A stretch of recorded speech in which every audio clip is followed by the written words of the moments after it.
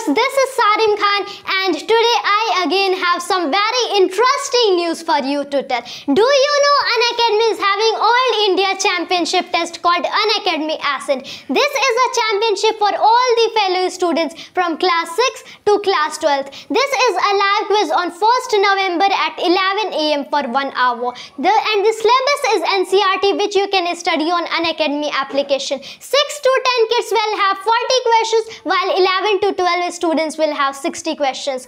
And you can even win a scholarship up to 5 lakh rupees. I have already registered there and there are only 3 day, more days left. So if you have to register then you can get all the links in description below. See you there and let's begin our today's question. And today again I am going to solve a question based on dimensional formula. So today our question is asking to us that the force of attraction between two atoms is given by F is equals to alpha beta exponential bracket minus x square divided by alpha kt and bracket close where x is distance k is Boltzmann constant and t is temperature and alpha and beta are constants. Then the value or we can call that the dimension dimensions of beta are. First option is mlt per minus 2 then is m per 0 l square t per minus 4 and finally after that is m square l t per minus 4 and our final option is m square l square t per minus 2 we have to solve this problem. So let's begin this uh, solution its solution. But before that let me tell you that this question was asked in JEE Main 2020 on 11 January in second shift so let's begin our solution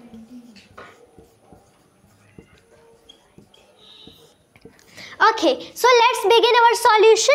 Then first of all, what equation has been given? It has been given that f is equals to alpha beta exponential bracket minus x square divided by alpha kt bracket close. This equation has been given. Let me define the terms again to you. F is the force of attraction between two atoms. Latter alpha and beta are the two constants. Exponential minus x square. Here x is our distance. Alpha since we know it is constant k is boltzmann constant and t is temperature. Now we have to solve it. We have to find out the dimensional formula for beta So let's find out. First of all, since we know that if you have studied concept of dimensional formula, then you surely know that exponential is always dimensionless. So it is very nice hint to this question that since we know it is exponential, this term is exponential of minus x square divided by alpha kt. Okay, implies that the okay exponential of minus x square divided by alpha k t. This is, it is equals to, its dimensions are equals to what? m per 0, l per 0 and t per 0 okay since we know it is dimensionless of course it is dimensionless because it is exponential. Any exponential is always dimensionless. So its dimensions are m per 0 l per 0 and t per 0 and by this we can find out the dimensions of alpha but we have to find out of beta. But for beta just like this value we need to remove for dimensions. Then we can call the that the dimensional formula for beta will be equals to the that of force divided by that of alpha. So for this we require of force and alpha to find out of beta. Force every student knows. MLT per minus 2 but alpha how to find out? Since alpha is a constant what is the dimension of this constant? We can easily find through this equation only. Then minus x square divided by alpha kt will be also dimensionless according to this.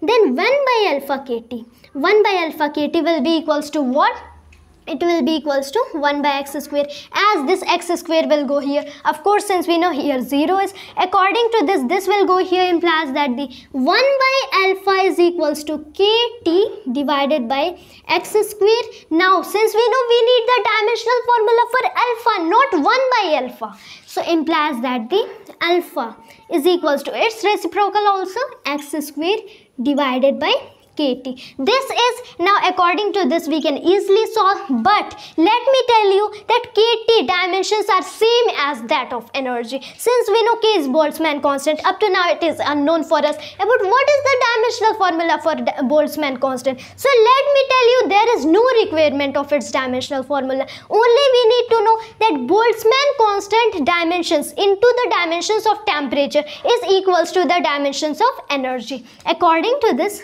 implies that the dimensions of alpha will be equals to this is distance so L square divided by kt means ml square t power minus 2 as this is of energy L square and L square cancelled which is equals to m power minus 1 t square.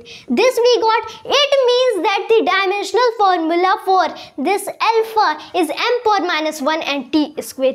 According to this now question is very easy for us. Directly in one line we can solve. This like implies that the alpha is uh, dimensions for f is equals to for uh, that of alpha times of beta this we can write this alpha will transfer here implies that the dimensions of beta will be equals to force divided by alpha this we can which is equals to what since for, for force it is mlt per minus 2 so mlt per minus 2 divided by what we have found m per minus 1 t square. So m per minus 1 t square. This we can easily solve and finally this will transfer up. So answer will come uh, m square then L will come and after that finally t power minus 4. So m square L t power minus 4. Final value we got finally the dimensions of beta are m square L t power minus 4. First option since we know it is m L t power minus 2. It's totally wrong. Second is m power 0 L square t power minus 4. This is also wrong. Third is m square L t power minus 4. The same value we have found. It means that this option C is absolute absolutely correct. Implies that C is the correct answer means in this equation where the F denotes the force of attraction between two atoms. In this equation F is equals to alpha beta exponential minus x square divided by alpha kt. The dimensional formula for beta is m square lt power minus 4 and since this video isn't ended up to now I am going to again solve once more dimensional formula questions. Okay that will be for the epsilon naught. So first of all let me erase this Okay, so let's move to our next question. And our next question is asking to us that let epsilon naught bracket epsilon naught bracket close denotes the dimensional formula for permittivity of vacuum. If m is equals to mass, L is equals to length, T is equals to time and A is equals to electric current, then okay, the since we know up to here our question is this was asked in JEE Mains 2013 and here our options are the dimensions for epsilon naught are m power minus 1 l power minus 3 t square a. Then is epsilon naught is equals to m power minus 1 l power minus 3 t power 4 a square. And after that c is epsilon naught is equals to m power minus 2 l square t power minus 1 a power minus 2 and our last and the final option is epsilon naught. The dimensions of epsilon naught are m power minus 1 l square t power minus 1 and a square. So first of all, let's begin our solution for this question. Okay, so since from here we have to solve, we have to find out the dimensional formula for epsilon naught. We do not have the idea whether what is the dimensional formula for permittivity of vacuum or we can also call it as permittivity of free space. So we have to just find it out. How we'll find it out? So there is very simple formula. Let me tell that formula to you that F is equals to 1 by 4 pi epsilon naught times q1 q2 divided by r square okay this is very important formula.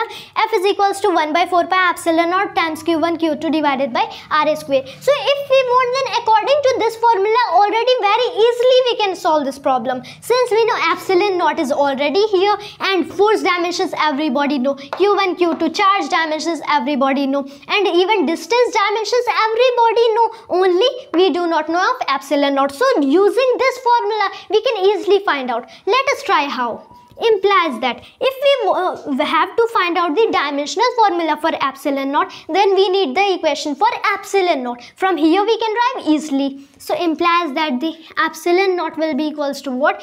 Uh, what it will be equals to? Q1 q2 divided by 4 pi fr square. 4 pi f r square. This will be of course this will be. And according to this given equation very easily we can solve only what we have to do. Since we know we have to put the okay values in this the dimensions in this implies that the dimension of epsilon naught will be equals to for q1 q2 since we know for q for q so just like uh, if we want then we can also erase this one or two to not be confused. But here they are actually to differentiate q1 q2 between two different charges two different charges. So for one charge it will be what? AT for another charge AT so AT into AT that is AT whole square. That is a square t square. So epsilon naught is equals to a square t square.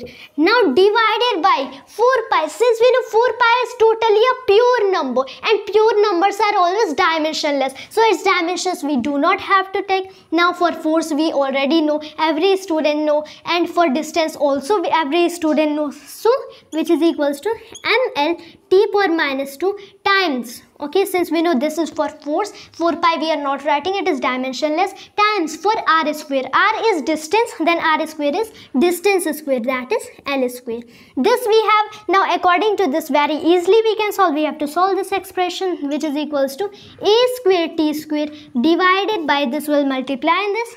Then ml cube t power minus 2 this we have now only we have to take this 2 up as numerator. Then it will happen which is equals to m power minus 1 l power minus 3 t power 4 a square this we got. So finally what we got? That the dimensional formula for epsilon naught or we can call the dimensional formula for permittivity of free space or vacuum is m power minus 1 l power minus 3 t power 4 times the a square. Okay now here we have to match. First is dimensions of epsilon naught are m power minus 1 l power minus 3 t square a. This is wrong so this we can cross. Now epsilon naught is equals to m power minus 1, L power minus 3, t power 4 and a square. Since we know it is matching to our solution and others since we know this is also not matching and this is also not matching hence option B is the absolutely correct answer. So finally we got what we got that the dimensional formula for permittivity of vacuum is m power minus 1, L power minus 3, t power 4 and a square. So this is our final last answer that is is uh, option number B is the correct answer. So this was my today's topic based on the dimensional formulas. Thank you.